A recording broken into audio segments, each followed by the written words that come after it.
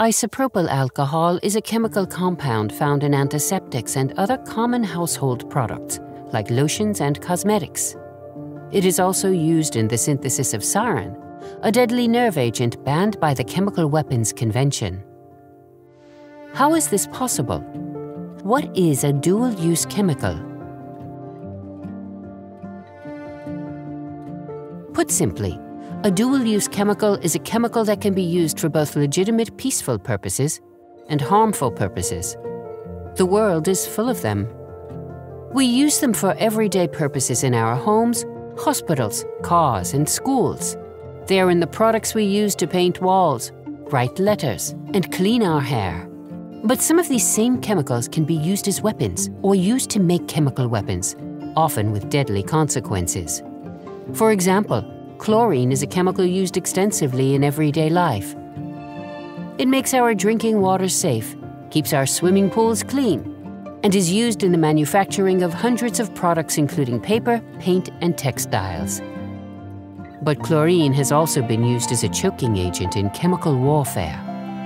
Heavier than air, when inhaled, chlorine is a poison gas that causes fluid to build up in the lungs, slowly suffocating its victims.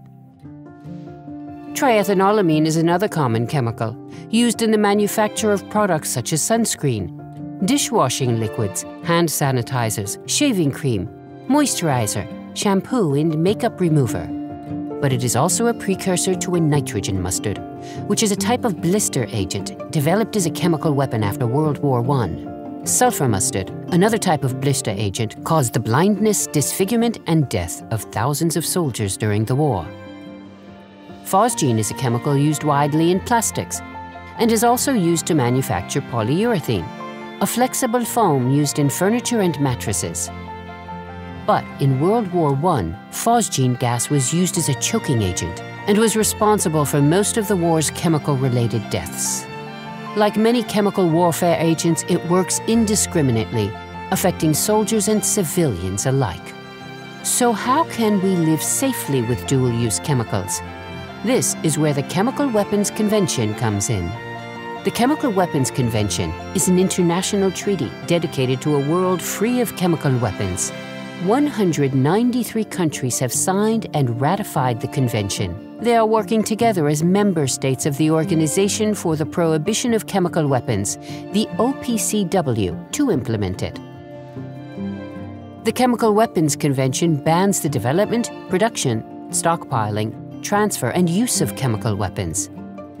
However, it also recognizes the dual-use nature of many chemicals and their importance in industry and development.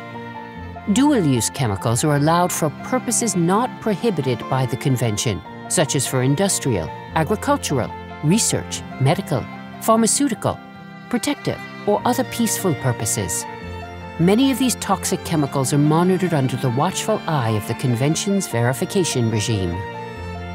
The OPCW and its member states work together at global, regional, and national levels to strengthen chemical safety and security practices. This lowers the risk of dual-use chemicals being diverted and developed into chemical weapons. Dual-use chemicals are a part of our world the Chemical Weapons Convention works to ensure that they are only used to benefit humanity. Learn more at opcw.org.